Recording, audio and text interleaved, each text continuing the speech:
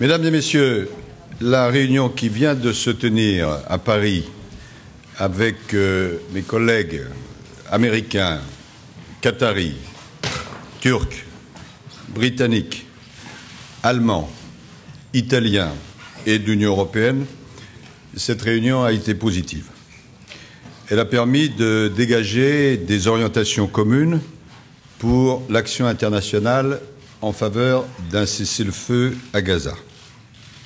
Tous, nous appelons les partis à la prolongation du cessez-le-feu humanitaire qui est actuellement en vigueur. Tous, nous voulons obtenir aussi rapidement que possible un cessez-le-feu durable, négocié, qui réponde à la fois aux besoins israéliens en termes de sécurité et aux besoins palestiniens en termes de développement socio-économique et d'accès au territoire de Gaza. Nous sommes convenus de la nécessité d'associer l'autorité palestinienne à ces objectifs.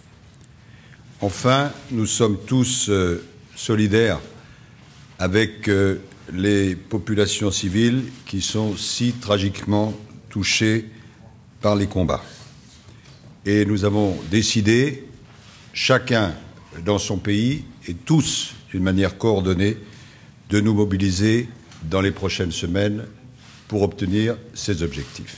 Merci. Merci.